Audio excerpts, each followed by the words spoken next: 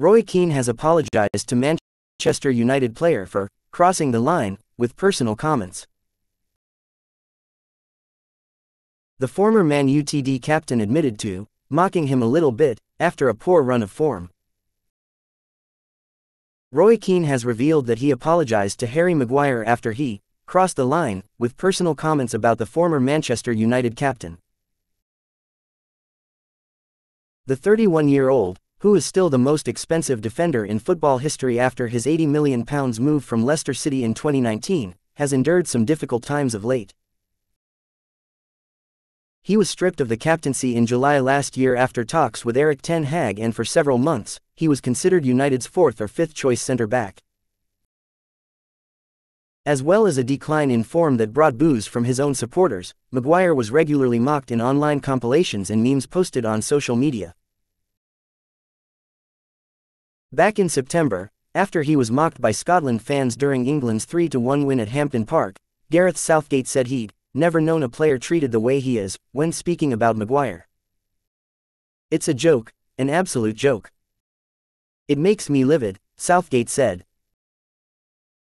Many pundits voiced their thoughts on Maguire during that spell, including Roy Keane, who was scathing in his analysis of the defender.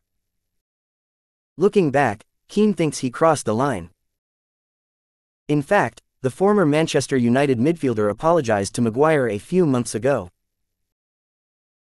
Speaking on the first episode of Stick to Football, the Overlap special, brought to you by Sky Bet, he said, I was harsh on Harry Maguire for footballing reasons and obviously we do a lot of United matches. Obviously he struggled at United and had a tough time with England but more so at club level. We're on about the mental health of players, and I've crossed the line with Maguire. I mocked him a little bit and it's not nice. I've played the game, I know how hard it is, but I'm also big enough. I bumped into Harry a few months ago and I apologized to him.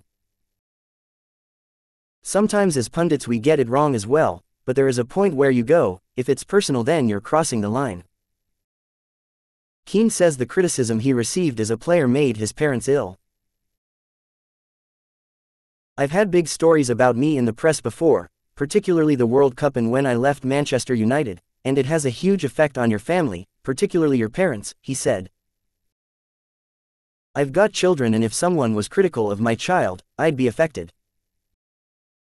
It made my parents ill, 100%, they were very ill from that stuff. So, we all have a responsibility without a doubt. I know we all sit in a studio but if you stick it to football and not cross the line. Image credit, Getty. Ian Wright thinks the way Maguire was treated was personal.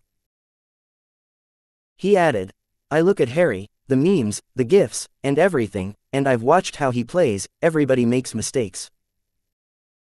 I've not seen Harry do anything that makes me go, what's going on? How is this guy even playing? What's happened is that people have been taking the mick out of this guy so relentlessly that you're genuinely waiting for him to do anything. Now, even if he misplaces something, he's getting hammered. It's a totally different level.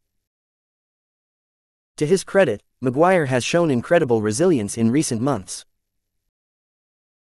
He regained his place in United's team towards the end of the season and amid the barrage of criticism, his form for England never dipped. To watch the first episode of Stick to Football, the Overlap special, fans can tune into ITV1 or ITVX on Friday the 28th of June at 10:45 p.m. or watch it on the Overlap YouTube channel.